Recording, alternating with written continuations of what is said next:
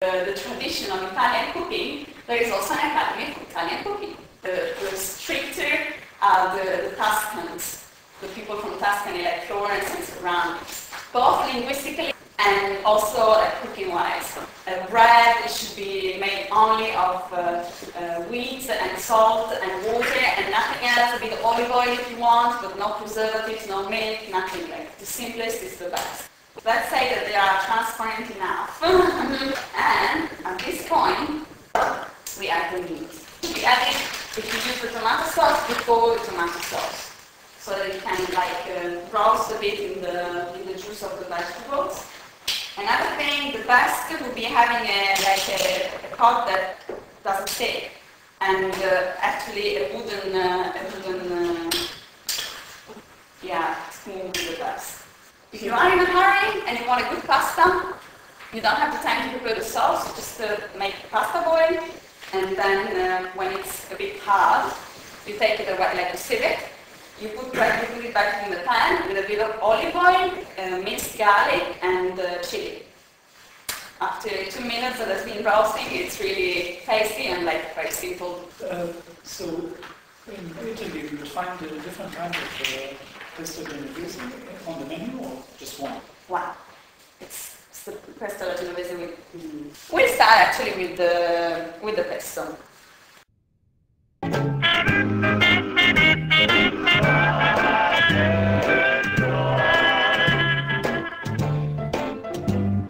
So the best way of doing it would be in a marble, uh, um, I don't know what you call it exactly, in Italian it's called mortaio.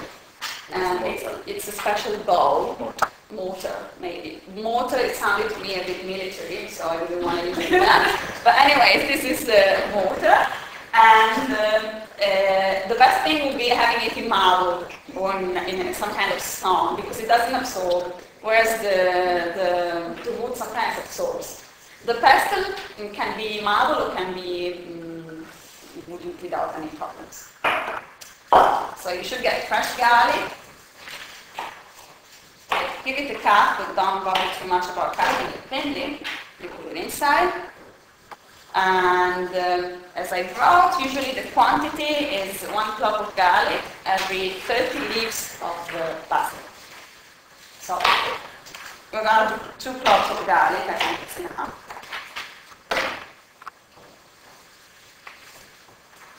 And the basil should be fresh. I know that it's a problem to get in Egypt, it's not so easy, but um, I found it alright in Zamalek. Two basil and uh, uh, pine seeds, snowball. Yeah. So about about this, and then you can vary the, the quantity. So this is the before the, the preparation starts, and uh, the movement should be not like like a kid, but a bit like uh, rotating the whole thing. So this is why sometimes having a marble, a marble uh, thing helps because usually the marble ones have like a, a round uh, shape, so you can turn around pretty easily. Whereas this one is a bit difficult because things go in the corners.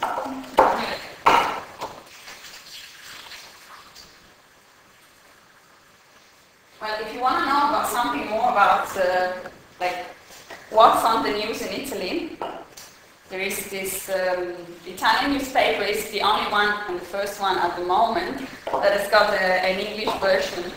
And the name of the newspaper is Corriere della Sera, it's the main uh, Italian newspaper in Egypt. And um, mm, on, in the Italian version, there is like um, a sort of a weblog which an Italian journalist that has worked uh, as a correspondent from abroad for decades, um, hosts some kind of letters from the Italians, so the Italian, Italian people living abroad. And uh, there was a, a, debate some weeks ago about uh, like uh, fettuccine alfredo, which is also a pretty common uh, Italian so-called Italian recipe that you find really in every restaurant, uh, Italian restaurant abroad, but nobody in Italy knows what the fettuccine alfredo are. So they were trying to find out what is the recipe of the fettuccine alfredo and what is the origin of the name. So like they came out with different versions and everyone was claiming, I knew the original Alfredo restaurant, I invented it. And it was the restaurant where Audrey Hepburn uh, used to go or like something like this. So the result of the inquiry was that there is no such a thing like the fettuccine alfredo, and if you just want to prepare pasta whatever you want inside, you can just call it fettuccine alfredo and it works well. also I remember like uh, in England there was a, a restaurant and it was uh, an Italian restaurant and uh, the cook used to follow like strictly the recipe. Like he would say, you know, if bolognese is written like bolognese must be done this way. But actually, like uh, if you used to eat pasta every day as Italians do, like at a certain point you do pasta with whatever you have. So that you know, if you, what you find in the fridge, what you, what you, you know, put uh, and you do uh, the way it works. So when you are at home, you can prepare pasta with whatever you have, actually. Uh, the only thing is that, of course, it's not a bolognese or it's not a pesto, it's something different. And you can call it uh, alfredo, you can call it uh, El Mohammed, uh, or whatever. Martina, do you want to come and uh, I take the honor let's, of finishing it? let's genderize our classes. Yeah. I don't know if I feel miserable in uh, doing this kind of things, but you know, it's kind of futuristic uh, relation with women. Like, but I don't know, like uh, there are many like men who love to who love to cook. I don't personally, but like uh, this is kind of mechanical. I don't have like much to do, and everything. Uh, Yeah, you can make many damages. because in, like in Egypt, it's kind of uh, hard for a man to cook, isn't it?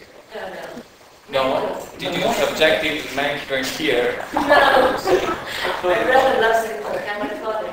They doesn't love to cook. And my brothers. I think men only cook for money. If it doesn't involve money, they don't like Most folks are, you Yeah, but most that, folks work in uh, restaurants yeah, and hotels. are- Um, if you guys, the best chefs around the world are men, not women. Yeah. Ouch. I was waiting for a man to say that because I was not a credible source as a woman. But I think it's true. Maybe there is some kind of marketing ideas, no, like but, uh, no, but no, sorry, let, let me say something. Yeah. If I have to trust a recipe, I trust the grandmother's recipe, not, not the grandfather. You know, the, the grandmother who used to say the, the child that eat, and you say, no, you have to go out. Also, the the cookbooks in Egypt are written by women. Oh, see, That's that- one thing. Something like that. that's something. It's, it's more of a cultural thing in Egypt that men don't cook. Uh, maybe they think it's, it makes them less of men. Well, usually they don't have fun, but, No, uh, even, even if you know how to cook, you know, Yeah, that's the point. They, they won't even come to work. in Italy, also in Italy, I mean, don't dream about a husband that will uh, prepare something to the job, and it's like, wow. Like, yeah, they dream. It's like, Yeah, like, I think he's got a real passion, but like people would look at him a bit strangely. Are you really like cooking? Or, or very admiring. "Ah, you really like cooking? I could marry.